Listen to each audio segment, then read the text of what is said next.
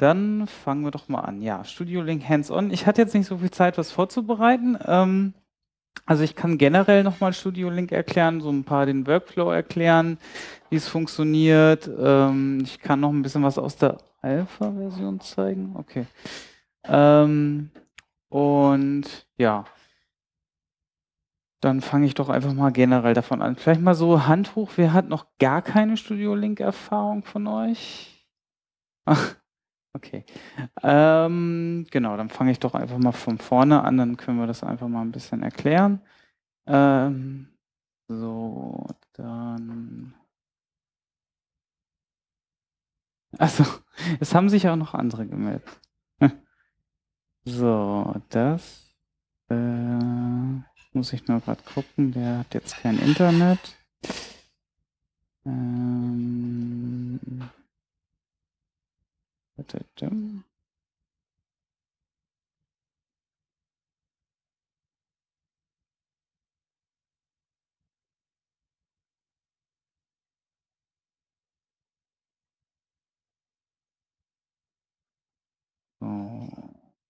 Aktivieren wir mal das WLAN.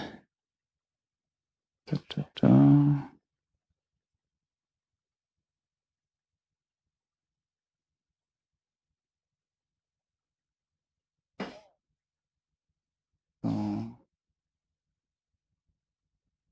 Verbinden.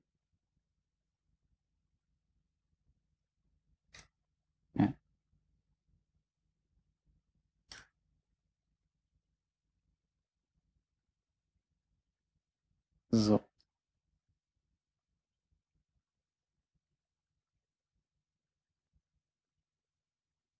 Jawohl. Jetzt haben wir auch das. Genau, also das ist die Webseite. Ich hoffe, man kann sie ein bisschen erkennen. Ist jetzt wahrscheinlich vom Kontrast. Im Stream wird es dann wahrscheinlich ein bisschen besser sein. Ah ja. Gut, ja, ähm, im Prinzip Studio Link, äh, Audioverbindung übers Internet. Ähm, es gibt verschiedene Apps oder Clients, wie man äh, quasi Gäste zu sich holen kann. Ähm, aktuell ist es noch so, dass Ultraschall und das Plugin so gesehen für den Gastgeber oder die Gastgeberin das Mittel der Wahl ist, um aufzuzeichnen. Ähm, da kann ich gleich mal ein bisschen im Detail drauf eingehen. Und für den Gast oder für die Gästin ist eigentlich dann nicht das Plugin, sondern die Standalone-Version. Das ist eigentlich nur ein Download-Link, den kann man sich einfach runterladen. Dann kommt man auf die Download-Seite und dann gibt es für jedes Betriebssystem, für jede Variante so einen Download-Link und da geht dann quasi einmal das Fenster auf. Äh, jetzt mal hier Windows runterladen. Und wenn das Netzwerk mitspielt und ich was sehen kann, dann ist es auch schon. Das ist also das, was dann der Gast oder die Gästin sieht. Äh, ach, das ist jetzt hier aufgegangen. So, dann ist hier der Download, da ist eine Exe-Datei jetzt unter Windows drin zum Beispiel. Die klickt man doppelt an.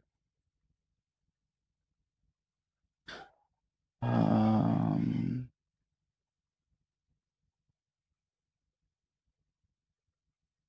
Und dann muss man unter Windows noch mal ein bisschen was anklicken, damit es auch wirklich ausgeführt wird und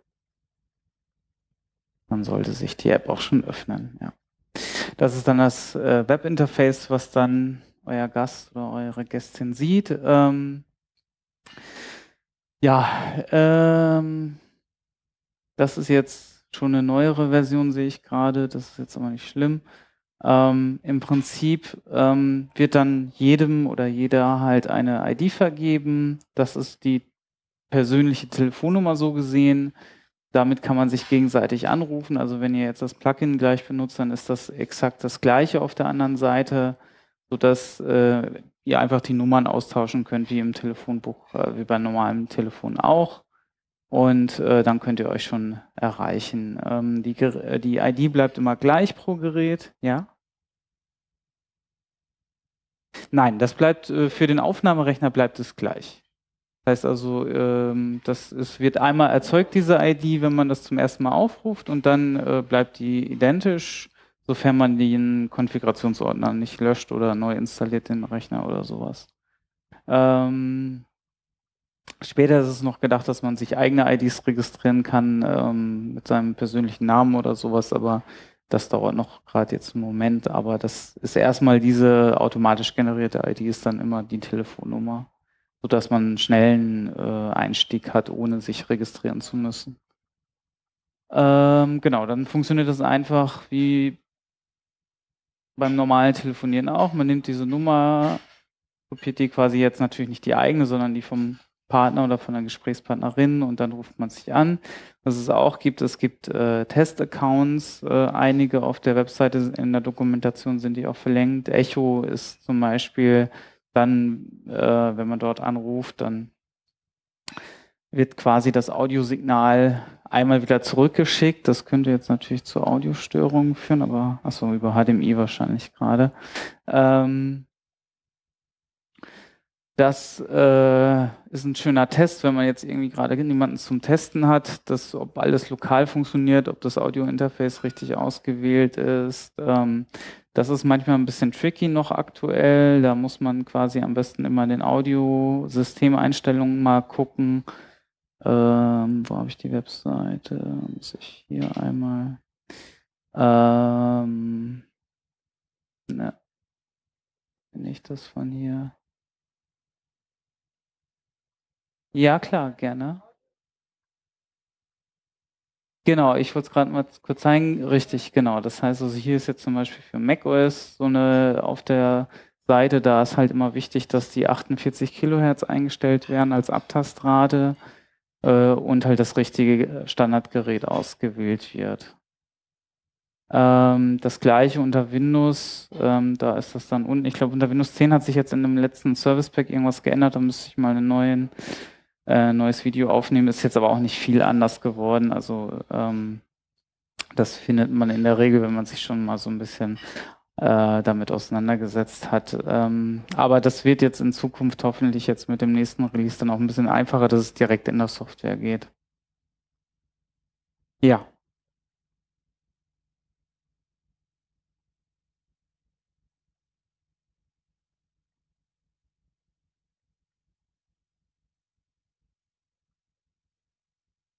Genau, das meinte ich gerade, dass das dann Studio Link auch so angezeigt wird, genau.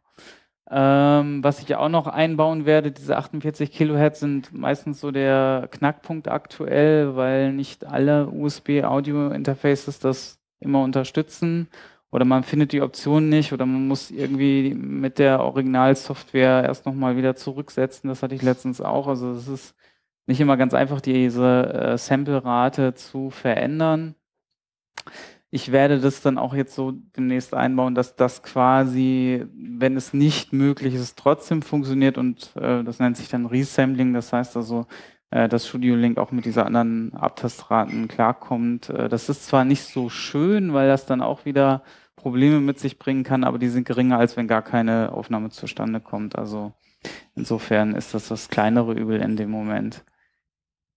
Ähm, genau, das sind eigentlich so die wichtigen Punkte aktuell zum aktuellen Stand, wo es da Probleme geben könnte. Wenn das eingestellt ist und jetzt man geschlossene Kopfhörer hat, sollte eigentlich nicht mehr viel schief gehen. Dann ähm,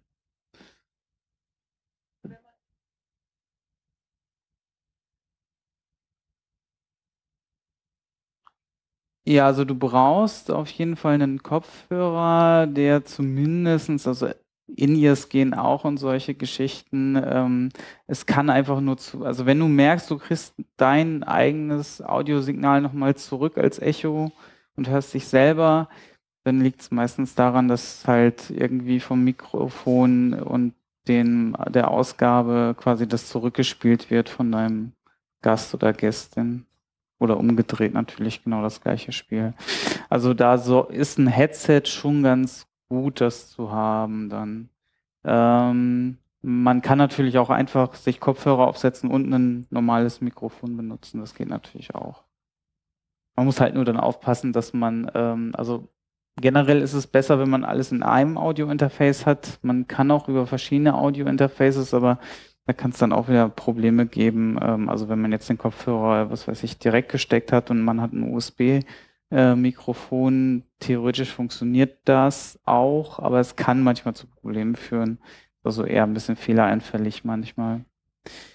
Ähm, ja, das sind eigentlich so, so ein paar technische Eckdaten. Da versuche ich jetzt einiges noch wegzuarbeiten an, an Fallstricken, dass das ein bisschen einfacher wird, aber das ist so der aktuelle Stand. Ähm, genau, dann kann ich das, also das wäre jetzt eigentlich eher so mehr die Gastseite. Ähm, auf der anderen Seite, wenn ihr das jetzt äh, als Gastgeber oder Gastgeberin benutzt, dann wäre das hier unter Ultraschall. Uh, Udo hat ja gerade schon ein bisschen was über Ultraschall erzählt. Ich kann jetzt nicht äh, komplett ausholen mit Ultraschall. Also ich werde in der nächsten Standalone-Version auch eine lokale Recording-Variante, ähm, dass man auch externe Geräte aufnehmen kann. Das heißt, also die Standalone-Version wäre dann auch als Gastgeber und Gastgeberin nutzbar, damit es einfach ein bisschen einfacher ist und man einen Einstieg hat, ohne jetzt sich mit Ultraschall auseinandersetzen zu müssen. Aber wenn man natürlich äh, sowieso vorhat, irgendwie ein Schnittprogramm sich zu suchen, dann ist natürlich Ultraschall da schon so unser Standard in der Community mittlerweile geworden, ähm, an dem gearbeitet wird und wo viele sich beteiligen an dem Projekt. Ähm, und aktuell ist es definitiv für Mehrspur-Recording auf jeden Fall die einzige Möglichkeit, äh, Gäste und Gästinnen vernünftig einzubinden. Das läuft dann so, du, man hat halt, äh, muss ich jetzt mal ja, ich wollte gerade sagen, ich muss mal gerade hier ein bisschen leer räumen. Äh, Kriege ich den da gezogen? Ja. So. Genau, das ist egal. Ähm, es kann manchmal je nach Netzwerksituation vielleicht Probleme geben. Dann muss man einfach mal versuchen, es andersrum zu, zu probieren. Äh, manchmal gibt es halt so, so etwas restriktive Netzwerke, wo das dann hängen bleiben kann. Äh, aber meistens, wenn es dann hängen bleibt, bleibt auch das komplette Gespräch hängen. Das heißt also auch die Audiodaten gehen nicht rüber und dann ist es halt wirklich ein benageltes Netzwerk. Ähm, aber man kann das einfach mal ausprobieren. Also wenn, wenn das halt irgendwie Probleme macht, dass man einfach mal versucht, Genau, das kann manchmal je nach NAT und Netzwerk, also Firewalls und sowas, können da manchmal ein bisschen restriktive sein und Probleme machen oder die lokale Firewall. Ähm, beziehungsweise was auch sein kann, ähm, ich mache immer so eine Notification-Abfrage, wenn zum ersten Mal das Fenster kommt, dann muss man diese äh, Notifications im Browser auch aktivieren. Wenn man das nicht tut oder ablehnt, dann kann es natürlich auch sein, dass der Call nicht richtig angezeigt wird oder so. Wobei äh, es sollte eigentlich immer visualisiert werden. Ja.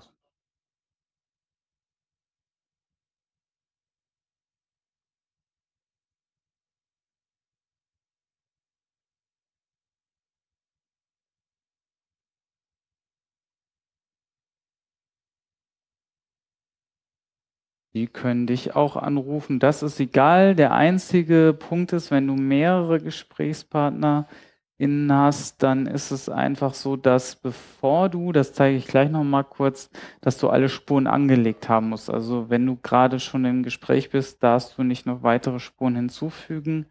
Ähm, das kann zu Syncing-Problemen führen. Das ist der einzige Punkt. Äh, wer wen anruft, ist dabei völlig egal.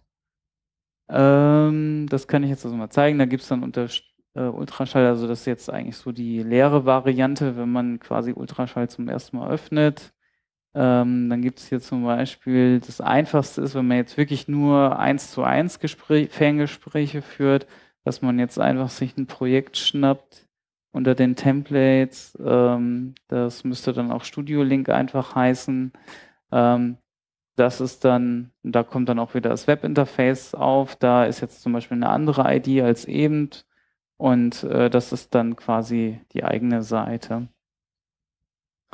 Äh, das war unter, äh, warte, muss ich hier mal Reaper wieder finden. Ja. Ähm, das ist entweder, es gibt das Podcast-Menü, da ist einiges drin, da kann man sich so ein bisschen vom Workflow äh, entlanghangeln. Äh, von oben nach unten. Und da gibt es auch, ähm, äh, ich sehe das jetzt gerade gar nicht da, Projekt, ja, Projekt-Templates. Genau, und da ist dann Studio Link. Genau, du, was du auch machen kannst, es gibt auch nochmal die Möglichkeit, wenn du jetzt komplexere Sachen selber bauen willst, dass du hier unten nur die Studio Link Spuren, also die externen Spuren hinzufügst. Das kann ich jetzt hier auch mal machen. Das heißt, wir haben jetzt hier, da hier ist erstmal hier einmal, das wäre deine lokale Spur und das hier wäre die Studio Link Spur. Ähm, und äh, wenn man hier dann quasi jetzt aufzeichnen würde, dann hätte man quasi äh, komplett getrennte Aufnahmen für die eigene und für die Remote-Spur.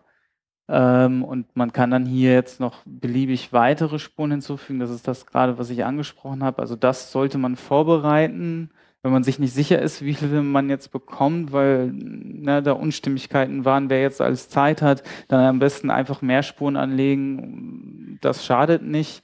Äh, nur nachträglich, wenn man schon irgendwie mit allen im Gespräch ist, noch jemanden dazuzunehmen und keine Spur vorbereitet zu haben und dann noch hier draufklickt, das kann zu Syncing-Problemen führen, weil dann ähm, müssten erst alle einmal auflegen und sich wieder gegenseitig anrufen. Ähm, genau, es wird dann kein weiteres Webfenster aufgemacht. Das läuft dann alles über die äh, gleiche Spur. Ähm, da der Tipp, wenn ihr da Probleme habt, äh, das Webfenster wiederzufinden, einfach als Lesezeichen hinterlegen. Die URL ist auch immer die gleiche, die hier äh, aufgerufen wird. Ähm, dann äh, findet man das auch, äh, wenn man sich das gerade nicht gemerkt hat oder auch ein bisschen schwierig zu merken, aber dann, dann findet man es wieder und braucht da während der Sendung jetzt nicht irgendwie alle wieder alles zu beenden. Ähm, ja, ähm, genau, das Routing. Es gibt ein Video, es gibt auch ein bisschen Dokumentation im Ultraschallprojekt. Ähm, das Routing ist eigentlich soweit vorbereitet, wenn man diese Templates benutzt. Äh, nur wenn man äh, jetzt mehrere Gesprächspartnerinnen hinzufügen will, dann muss man da noch ein bisschen nachtragen. Ähm, aber das ist auch alles in der Dokumentation soweit eigentlich verlinkt. Und wenn es da Fragen oder Probleme gibt im Sendegate, bin ich eigentlich auch immer ganz gut erreichbar per E-Mail oder Twitter oder äh, Mastodon werde ich jetzt vielleicht auch nochmal einen Account machen. Scheint ja sich dieses Wochenende schon sehr äh, zu verbreiten, habe ich gerade schon gesehen. Ach, das ist so eine alternative, äh, dezentrale, ja, ähm, Social Media Alternative. Ja, ähm, ja, ähm, das wäre jetzt im Groben so mal ein Überblick, wie die Zusammenhänge sind. Ähm, ja, ist bis hierhin Fragen? Nein, okay. Gut. Und dann ist es eigentlich nur noch, also hier werden dann auch im Webinterface, das müsste da wahrscheinlich wieder sein, also es wird dann quasi hier das Audio auch visualisiert. Ich kann jetzt einfach mal gucken, ob ich einen Testaccount anrufen kann. Ähm, da geht jetzt kein Audio durch anscheinend. Ja, ich habe keinen, ähm, der hat noch, das ist der Podcast-Tischrechner, der vermisst sein Audio-Interface gerade. Äh, das, äh, ich habe jetzt auch keins angeschlossen, müsste ich dann umstellen. Ähm, dann würde man quasi auch sehen, dass da ein Audioausschlag ist und das wäre auch. Da gibt es noch die Feinheit, dass aktuell in der Standalone-Version der Audioausschlag erst angezeigt wird, wenn wirklich ein Gespräch aktiv ist. Auch das wird in der nächsten Version anders laufen, dass auch das identisch ist zu Reaper, äh, so dass man also sobald man irgendwie einen Audio-Interface ausgewählt hat, auch ein Pegel da ist. Ähm, aktuell müsste man sich halt mit dem Echo-Account einfach behelfen, den anzurufen und dann hat man den Ausschlag auch schon. Ja, ist, dann gibt es hier noch die Möglichkeit, äh, ZIP-Accounts anzulegen, äh, beliebig, dus.net, äh, Zipgate oder ähnliches, um zum Beispiel ein normales Telefon einzubinden. Ähm, da gibt es ja verschiedene Provider, die sowas anbieten oder vom, von, von der eigenen Telekom, wobei das manchmal noch Probleme macht, weil die spezielle Einstellungen haben. Äh, man kann auch einfach ähm, dann am besten aus der Fritzbox sich einfach so ein ähm, Gerät anlegen. Die haben so eine Funktion, das haben auch andere Routerhersteller. drin, dass man quasi dann einfach das als äh, SIP-Telefon anlegen kann, Studio Link, und dann kann man auch ganz normal über Telefonleitung gehen, äh, falls man jemanden jetzt nicht anders erreichen kann oder so als Backup.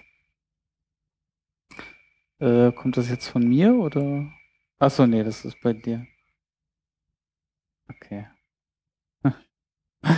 Gut. Ähm, ja, das wäre dann hier einfach. Da trägt man dann hier bei Add Account einfach die Daten ein, also Benutzername, äh, Domain und Passwort. Äh, Domain wäre dann bei der Fritzbox die IP, also Standard ist ja meistens 192, 178 oder fritz.box, irgendwas in der Art. Ähm, aber das ähm, ist dann natürlich ein bisschen individuell. Äh, ja, die Qualität ist natürlich über Telefon dann nicht so gut. Da kann man sicherlich an den Codex, wenn die sich noch ein bisschen weiter verbreiten, wird das auch mit HD-Telefonie immer ein bisschen besserer. Aber äh, ja, es ist natürlich eher so die zweite Option, wenn man da mehr Qualität haben will, dann wäre es schon ganz gut, wenn man direkt sich verbinden kann. Ähm, ja, das wäre eigentlich jetzt mal so ein grober Überblick, ja. Ähm, keine Fragen? Gut. Also ja, ja. Ja, da kann ich jetzt gerne noch weiter drauf eingehen. Also, ähm, okay, wenn ihr da noch ein bisschen mehr Bedarf habt, dann können wir natürlich über die Routing-Matrix gehen. Ich hoffe, ich kriege das jetzt natürlich. Ich wollte jetzt erstmal so einen groben Überblick machen. So, das ist die Routing-Matrix. Ähm, Müssen wir mal gerade gucken hier.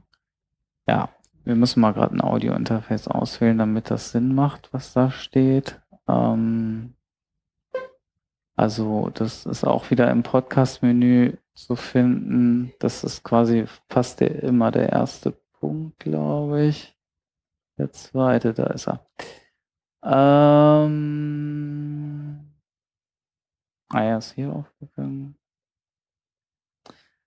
So, das ist quasi mal der erste Schritt, dass man einmal, das ist jetzt unter Windows, da gibt es dann auch verschiedene Audiosysteme, unter macOS hat man dann nur eins, ähm, oder, nee, ich glaube doch nur eins. Ja, genau. Also ähm, ASIO ist so, wenn man ein spezielles Interface hat, unter Windows eigentlich so der Treiber, den man dann wegen der besten Latenz und äh, in der Regel auch Mehrspuraufnahme benutzen will je nach Audio-Interface. Das hängt immer ein bisschen davon ab. Ähm, Wasapi ist eigentlich auch ganz gut. Äh, Direct Sound ist, eh, kann man auch benutzen, ist eigentlich aber auch eher schwierig manchmal. Also ich würde eher zu Wasapi oder ASIO tendieren. Die anderen kann man benutzen oder mal testen, ob die funktionieren besser oder schlechter. Das ist nach Audio-Interface manchmal ein bisschen unterschiedlich.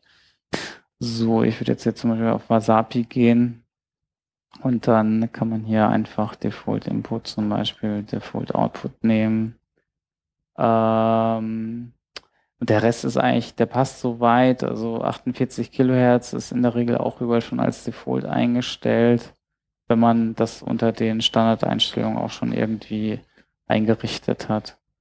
Ähm, so, und dann müsste jetzt hier unten auch in der Routing-Matrix das hat er jetzt nicht genommen. Was sagt er hier oben? Device closed.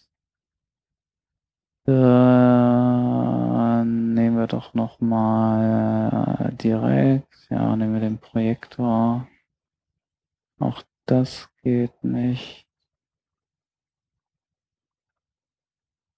Äh, also hier oben kann man auch draufklicken und da sieht man auch so den Status vom Audio-Interface, zumindest unter Windows. Ich weiß gar nicht, ob das unter macOS auch ist. Wir können jetzt auch nochmal den exklusiven Modus benutzen. Das bedeutet, dass nur, nur Reaper quasi das Audio-Interface benutzen darf und alle anderen Programme rausgeschmissen werden. Müsste ich jetzt tatsächlich noch ein Audio-Interface gerade holen. Ah. Ja, ich kann den Genau, ich kann den nochmal schließen. Reaper, manchmal hilft das auch. Äh,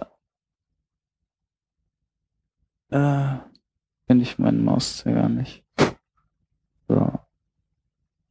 Äh, Machen wir Top Shortcut hier. Ja. So.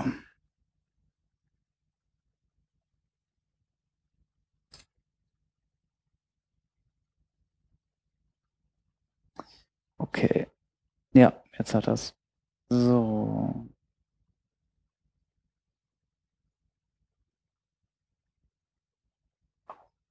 Okay, dann mache ich es jetzt wieder groß. So, jetzt fangen wir wieder mit dem Template an. Also ähm, das ist das, was ich sehen wollte. Also wir haben jetzt hier vom Audio-Interface schon mal, das liest sich quasi so, dass wir hier die Ausgänge haben oben.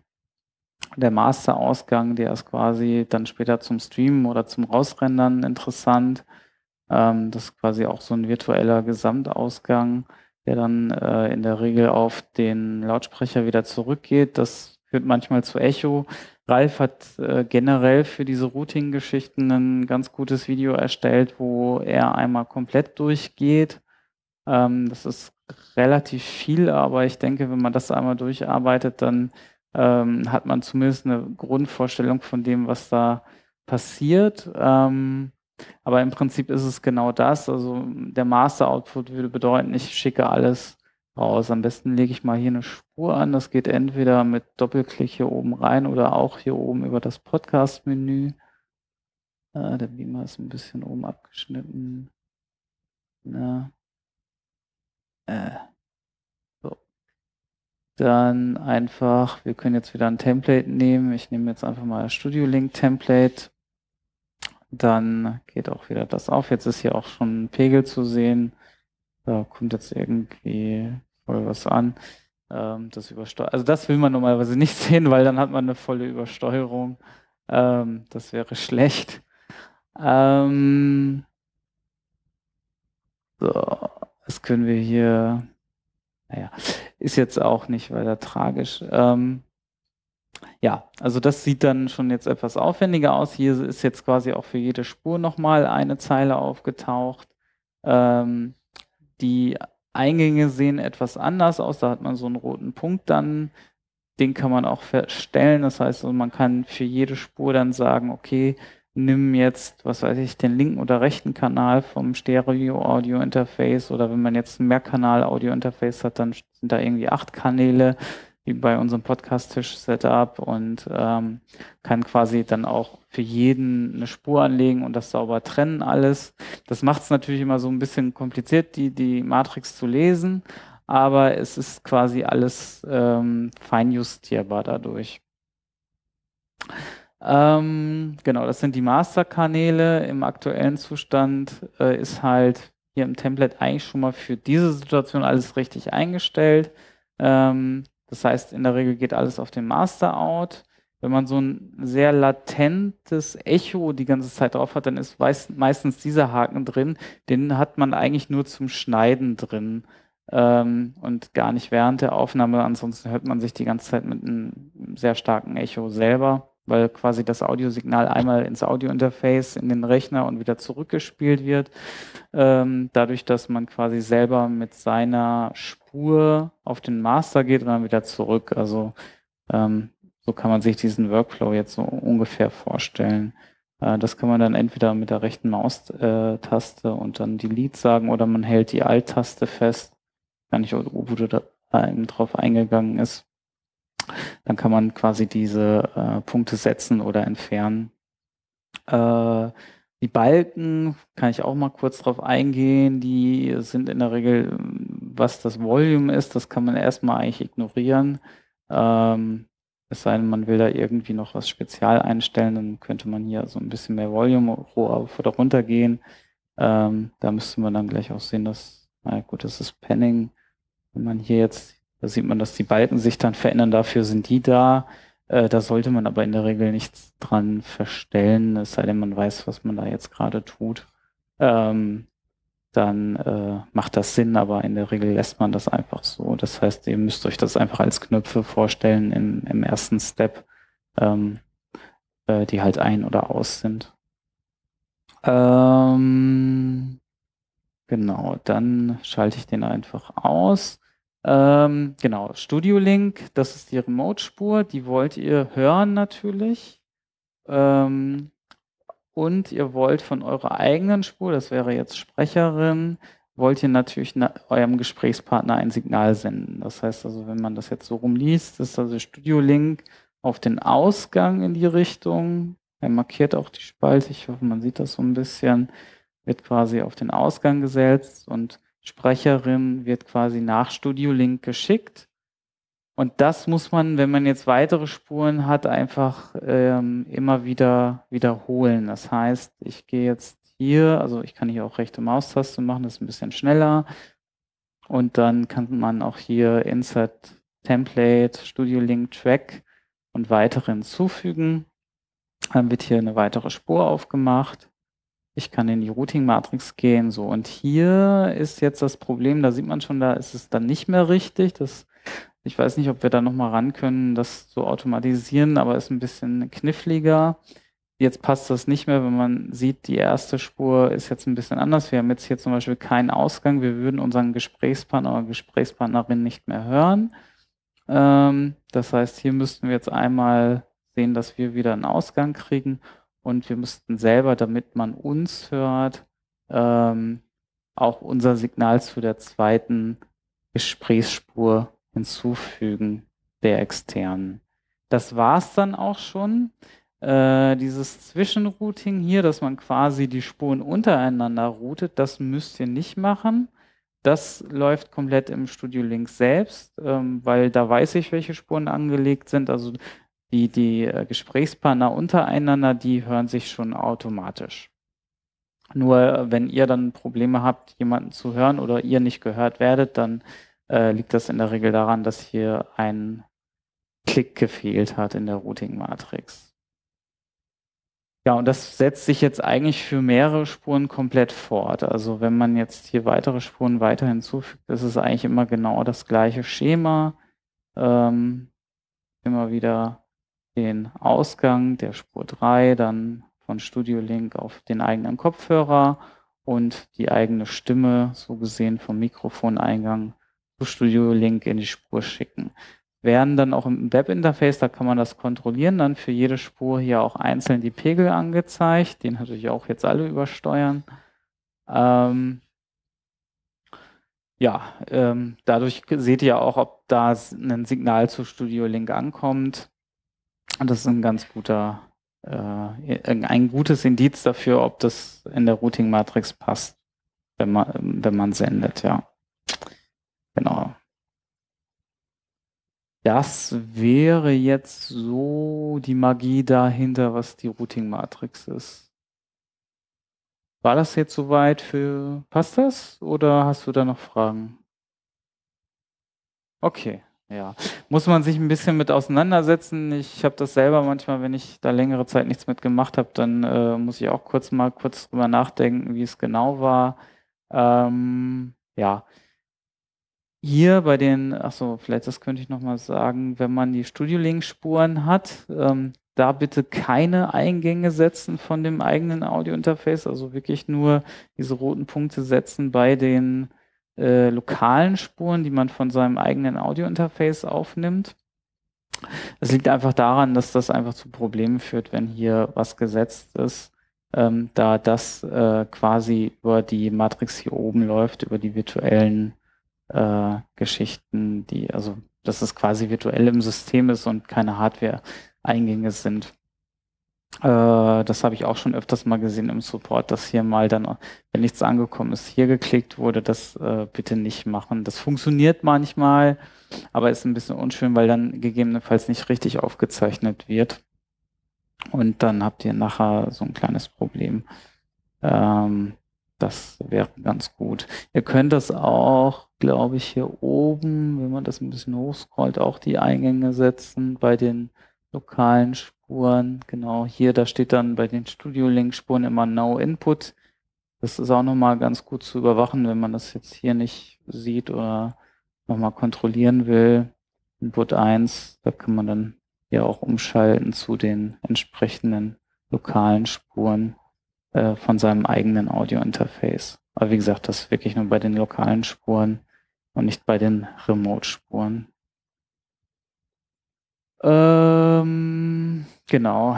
dann könnte ich jetzt noch was zeigen. Ja, genau. Also Streaming äh, gibt es seit jetzt seit einem Jahr in Studio Link drin. Das ist quasi dieser Button. Ist auch relativ einfach. Da klickt ihr einfach drauf. Ähm, dann, wenn das der, das erste Mal ein Stream ist, ähm, dann wird quasi eine neue ID. Ich glaube, hier habe ich schon was mit Podstock Streaming, genau, weil das der Rechner ist. Ähm, dann fragt er euch nach einem Streaming-Status. Ihr habt eine Streaming-URL, könnt hier unter Edit Stream alle Metadaten angeben und ihr könnt dann quasi direkt über den Link hier oben, der auch angezeigt wird im Browser, äh, das weitergeben und dann ist das eure Streaming-URL, wo ein Player angezeigt wird, äh, wie hier oben. Äh, und man kann euch dann live im Internet hören, äh, ohne weitere Registrierung oder ähnliches. Ähm, ihr könnt dann auch über die Routing-Matrix, da ich sie jetzt ja eh schon erklärt habe, dann hier über den Master äh, kontrollieren, was in den Stream geht. Also wenn jetzt irgendwie sagt, okay, wir sind jetzt in der Pre-Show oder ähnliches und wir wollen irgendwie noch nicht gehört werden, aber man soll schon den Stream irgendwie öffnen können und da soll jetzt erstmal nichts kommen oder man legt sich nur eine Soundspot-Spur an und routet die dann nur mit dem Master auf ähm, ähm, auf, die, auf den Stream, dann kann man da so ein bisschen Pausenmusik schon mal anspielen. Das ist auch möglich und das lässt sich dann hier über den Master regeln. Und da kann man auch die einzelnen Spuren wieder dazu nehmen, sobald man. Ähm, wenn man sich das einmal, am besten richtet man sich das einmal ein. Dazu kann man dann auch diese Routing-Snapshots ganz gut verwenden, die es hier gibt. Ähm, das äh, sind so vorgefertigte äh, Snapshots, in dem, wenn man da zum ersten Mal draufklickt, das ist jetzt hier aufgegangen, ich schiebe das mal rüber, äh, dann hat man die Möglichkeit, quasi hier verschiedene Slots beliebig zu befüllen. Das heißt, wenn man hier auf Save geht, dann wird quasi der aktuelle Stand der Routing-Matrix, wie sie gerade ist, abgespeichert. Ähm, so könnte ich jetzt zum Beispiel einfach, wenn ich hier die Sachen rausnehme, sagen, okay, äh, bitte jetzt nichts auf dem Stream äh, in der Pre-Show oder ähnliches. Man kann, ich glaube, umbenennen kann man die nicht, aber ähm, man hat zumindest die Möglichkeit, hier sich Snapshots anzulegen für verschiedene Zustände. Das sind dann die Buttons hier auf der linken Seite entsprechend und kann da relativ schnell zugreifen. Für den Schnitt zum Beispiel würde man quasi dann alles wieder reinnehmen später und hier oben äh, quasi aufs eigene Interface alles vom Master zurückgeben, damit man während des Schneidens halt auch abhören kann, was ähm, auf den einzelnen Spuren ist. Weil in der Regel, wenn man hier zum Beispiel den Button reinnimmt oder äh, dort, während der Aufnahme, wie gesagt, dann hat man meistens ein Echo auf dem Kopfhörer, äh, was man eigentlich nicht haben möchte. Sei das Interface hat kein eigenes Monitoring, aber dann ist das Echo eigentlich doch sehr hoch meistens und das will man eigentlich eher vermeiden, dass das Audio-Interface, wenn dann das Monitoring macht. Ähm, ja, Genau, und das könnte man sich jetzt einfach hier als Editing, Editing Snapshot abspeichern. Und wenn ich jetzt hier zum Beispiel, dann sieht man das dann, genau, also ich könnte hier dann jetzt in der, dann auch auf Recall drücken. Das würde dann bedeuten, er setzt den Zustand halt auf den Punkt, den ich gespeichert habe, wieder zurück. Und hier könnte man das über diese Funktion auch machen äh, wenn jetzt wegen der Displaygröße nicht alle Buttons angezeigt. Ähm, ja. Ähm, das wäre eigentlich erstmal soweit zu dem zu der Routing Matrix und jetzt Streaming. Hm. Gibt es da jetzt noch Fragen? Anscheinend nicht. Gut. Ähm, fällt mir noch eine Besonderheit ein, die man erklären könnte. Ach so, ja. Wenn ihr fertig seid, ähm, dann ist immer das Einfachste und das Wichtigste eigentlich mit, also ihr drückt jetzt dann irgendwann auf Aufnahme, alles ist eingestellt, ähm, nehmt auf, dann seid ihr fertig, dann geht ihr am besten immer auf das Podcast-Menü auch und dann gibt es hier den Punkt, da ist auch extra ein Sternchen davor, Prepare All Tracks for Editing. Ähm, den wählt ihr aus dann seht ihr schon auch in der Routing-Matrix passiert hier was. Es wird sogar angezeigt, was alles so ungefähr passiert. Das bereitet quasi das komplette Projekt dann auf den Schnitt vor. dass man also in der Lage ist, sofort dann weiterzumachen. Das Grundproblem ist, wenn man versuchen würde, quasi mit den alten Routing-Einstellungen und den ganzen Sachen äh, zu schneiden und den Effekten, die da noch drauf sind, äh, dann hört man entweder gar nichts oder doppelt oder es gibt ganz komische Effekte. Also dieser Schritt ist im Workflow sehr wichtig, bevor man anfängt, dann wirklich abzuhören und zu schneiden äh, und sich wundert, dass vielleicht oder Angst bekommt, dass da gar nichts aufgezeichnet wurde. So.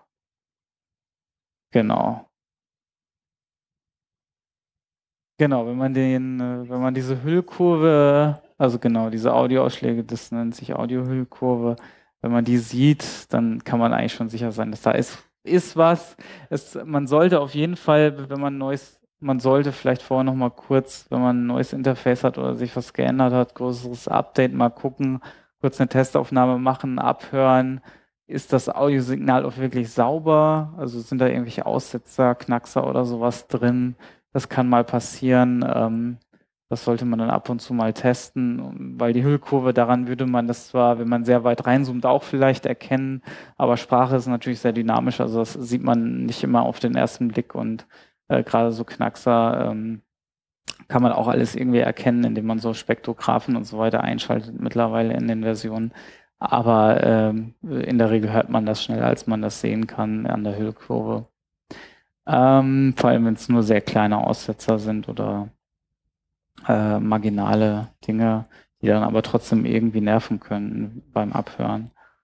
Ähm, beziehungsweise später beim Veröffentlichen vor allem. Ja, im Prinzip fällt mir jetzt dazu nichts mehr ein. Das wäre jetzt so der aktuelle Stand. Ähm, ich kann natürlich jetzt noch, ja, ich hatte ja schon immer so ein bisschen einfließen lassen, woran ich jetzt gerade arbeite. Ähm, es wird vielleicht auch mal, auch mal so eine Web-RTC-Version geben. Ich hoffe jetzt, dass sich das nächste halbe Jahr endlich weiter aktiver entwickeln kann, dass die neue Version rauskommt. Ja, und ähm, hoffe da auch noch mal so ein bisschen Alpha-Test zu machen. Ich kann schon mal, also für diejenigen, die äh, gerne mal die neue Version sehen wollen, ähm, Studio Link ist ja Open Source soweit, ähm, so dass wir, dass ihr da auch auf GitHub das alles findet. Ähm, einfach hier oben auf Source ist die GitHub-URL verlinkt auf der Webseite unter studio-link.de. Äh, na, wenn ich den Mauszeiger hier finde, da ist er, da war er zumindest. So, Source. Genau, und da gibt es dann ein Projekt, das nennt sich Web App Backend. Und unter Releases findet man schon die neueren Versionen als Alpha, wo man quasi dann auch ähm, schon mal mittesten kann. Ich bin selber noch nicht mit allen Tests durch. Also im Moment ist das wirklich Alpha als Alpha zu verstehen. Ähm, ich versuche das jetzt mit jeder Revision halt zu verfeinern. Aber ja, wer möchte, kann gern schon mal reinschauen und ein bisschen testen und Feedback geben. Ähm, ja. Und ich hoffe, dass das dann jetzt in den nächsten Wochen dann als finale Version dann irgendwann so stabil ist, dass ich das guten Gewissens freigeben kann.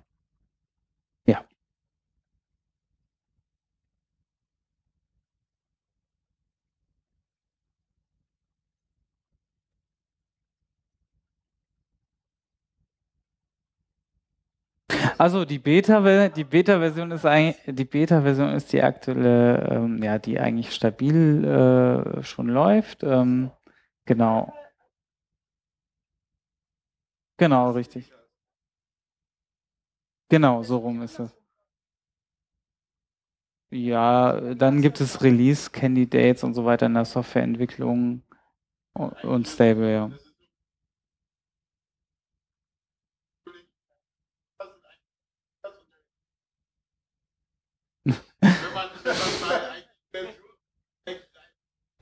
Ja, die, die Beta hat nie den Sprung.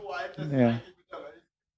Ja, die ist schon sehr gut abgehangen und äh, also in meinem Kontext ist die für mich immer noch Beta und ich hoffe, dass jetzt die neue Alpha dann jetzt irgendwann so mit den Releases halt dann wirklich eine Stable wird, die dann auch feature-complete ist mit der Audioauswahl und so weiter.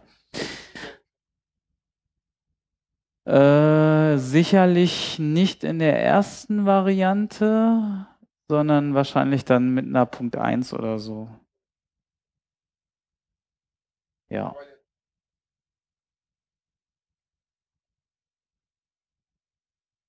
Äh, also die äh, Varianten sind fast immer identisch vom Webinterface. Also da arbeite ich eigentlich mit der gleichen Codebasis. Da ist nicht viel Unterschied. Also insofern ist das von der GUI immer äh, fast zu 90 Prozent identisch. Also dementsprechend ist das dann auch gleich mit drin.